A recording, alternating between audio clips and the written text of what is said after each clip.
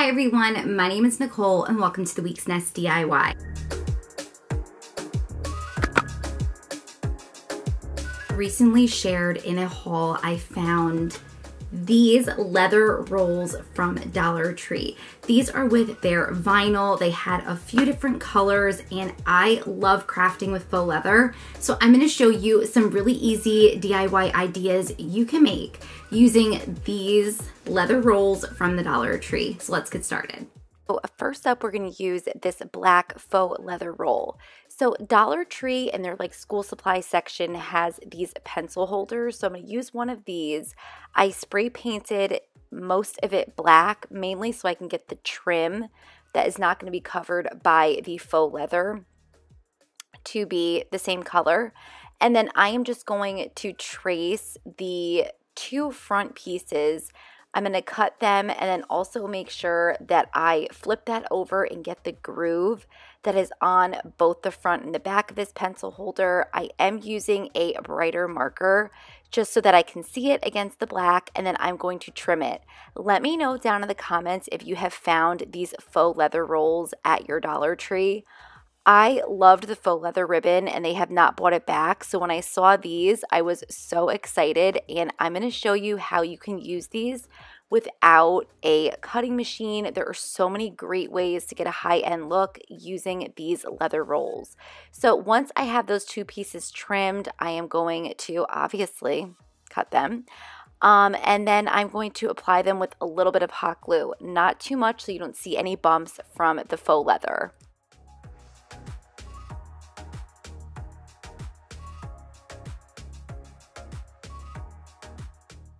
You can leave this as is, but I felt like it was missing something. So if you are not new to my channel, you know my love for these half wood beads.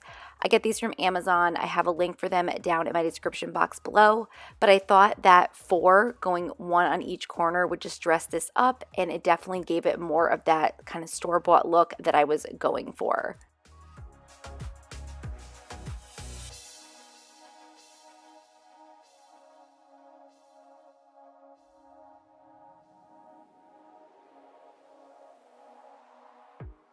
There you have it with just a little bit of this faux leather, some paint and wood beads. You get a really nice, more upgraded pencil holder look using Dollar Tree items.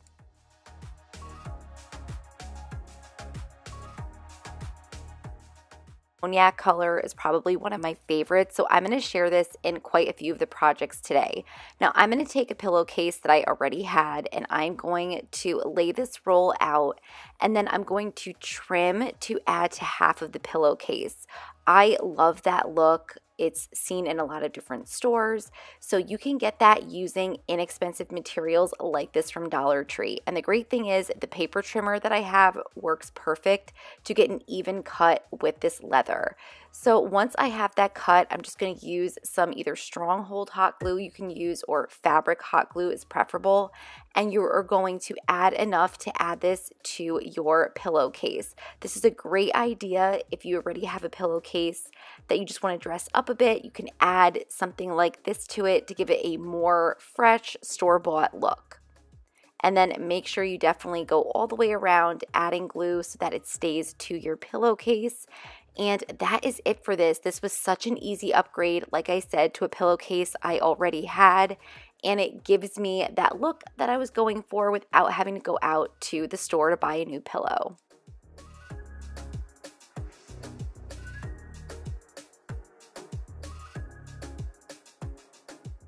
I thrifted this tissue box holder a while ago. Again, this is an idea of how you can add this Dollar Tree leather to something you have already. So I just wanted to get an idea of where I needed to make my cuts. So I took my cognac leather roll and then I am just going to kind of fit this to the box. And once I have those markings, again, I like to use a black marker for this just so I can see it against the leather and then I can make a good even cut. I am going to cut this out and set this to the side. Now you're going to see in a second that for this particular tissue box that I am using, the leather does not fully cover it. So I am going to go in with some paint just to kind of even that out. So I will add an accent piece that the leather does not cover. So you see here, I have a little bit of a space. And I apologize for my voice. I've just been dealing with a cold, so life. Um, a little bit of this black chalk paint just in the area that is going to show from the leather as well as the top just to make it a little more even.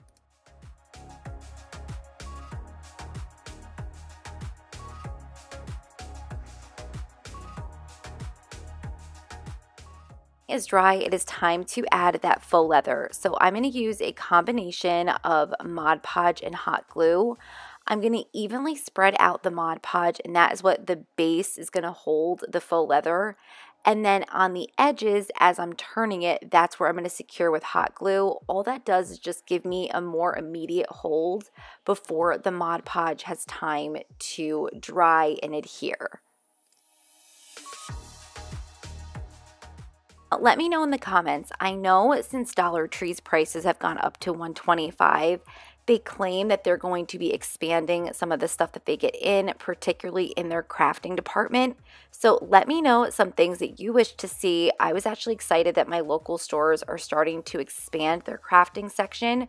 So this was a definite exciting find, and I hope to find more stuff like this at Dollar Tree because it makes crafting and decorating on a budget just so much easier. So let me know what are some items you have seen that are new or you're hoping to see.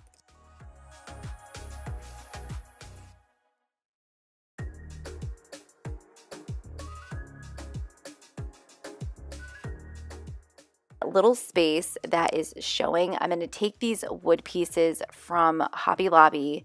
I got these on sale. They ended up being like two bucks and you get, I don't know, maybe like I want to say like 500. I could be wrong, but you get a lot of these little sticks.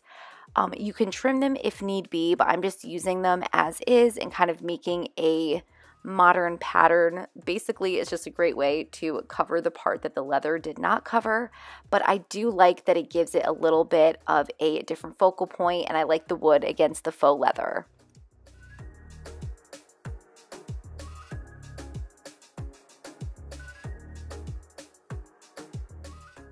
And I used a Dollar Tree tissue box for my holder, and it's a great way to update an otherwise plain tissue box.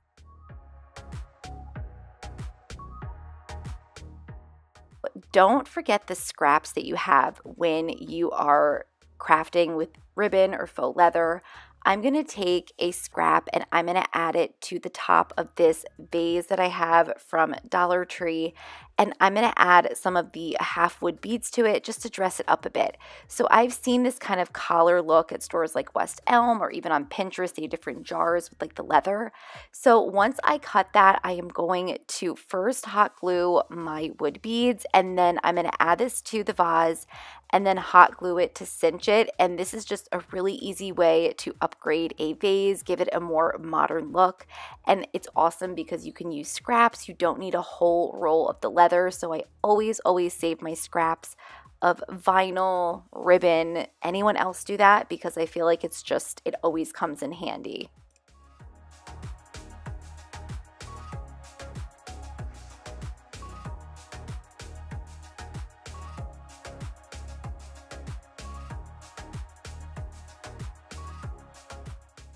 Once that is on, I just went ahead and trimmed to make sure everything was even.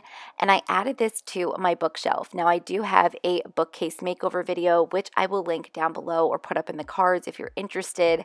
But I just love decorating it and this definitely fit the bookcase so well.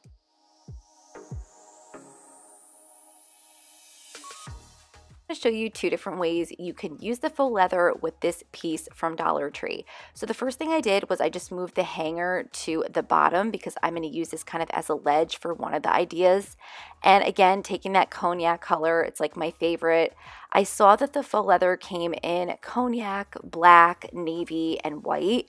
The only color I did not get was the navy, but this one is definitely my favorite. So I'm going to first trim what I need for this, cut this and set this aside, and then I'm going to add a little bit of paint to that sign for where the leather is not going to cover. About a quarter of the bottom in black and then I also painted the sides and the edges just so that it looked even and then I'm going to apply the faux leather to this. To do that I'm going to do the same combination of Mod Podge and hot glue just to get a stronger hold but also the hot glue provides me with an instant hold which makes the impatient crafter in me just so happy. So we're going to apply that and then I'm going to show you two really fun ways that you can use this to display. And yes, I forgot that side piece when I was just not displaying, adding the leather, but I did go back and paint that in case it's bothering you like it's bothering me now editing.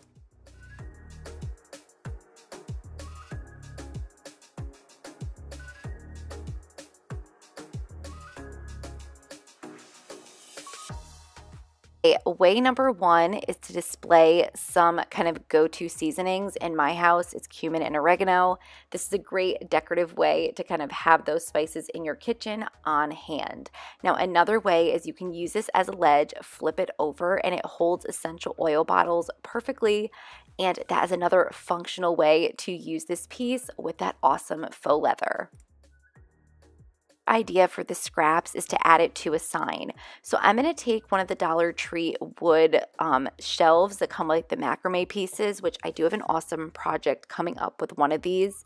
Um, but I'm going to take this scrap piece of leather for now and just trim it so that it acts as a piece that I can layer on top of with this sign. So once I have that trimmed, I'm going to apply it and then I also decided to use those half wood beads just to add some texture to this project. I feel like I haven't said texture in forever. I always used to say that in my videos. Um, but it also doubles as hiding those little holes that the macrame cord would go on if you use it for its intended purpose.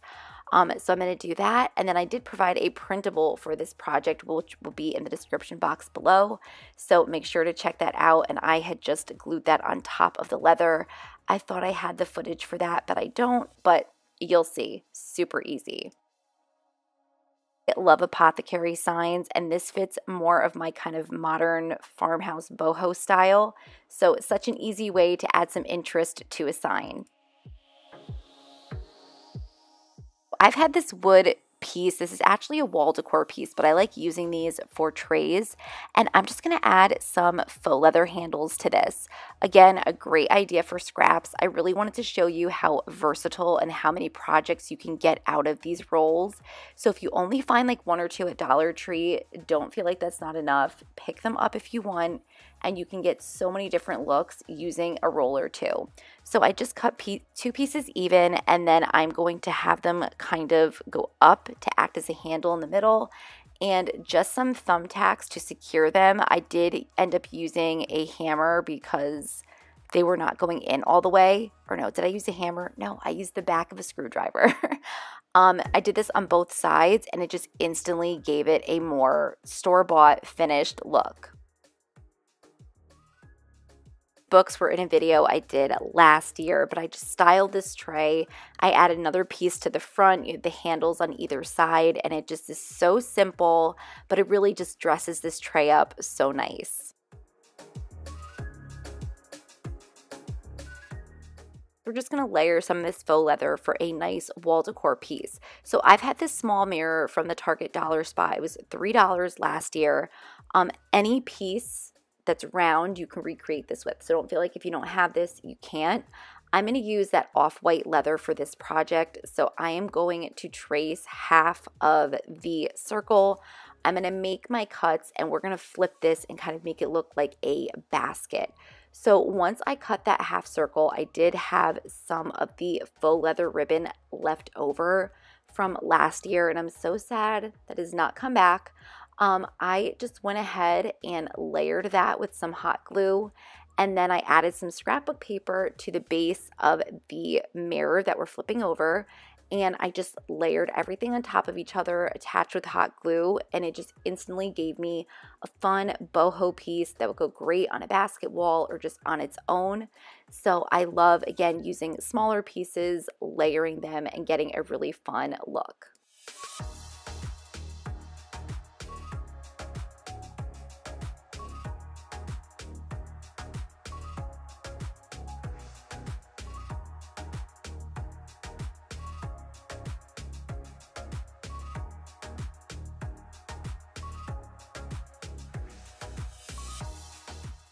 I hope you enjoyed this video. Let me know down in the comments which of these projects was your favorite. And if you have found these leather rolls, what are some projects you would make with them? I love knowing and definitely be on the lookout for these. These are just so fun, so versatile. There are so many different things you can do with them.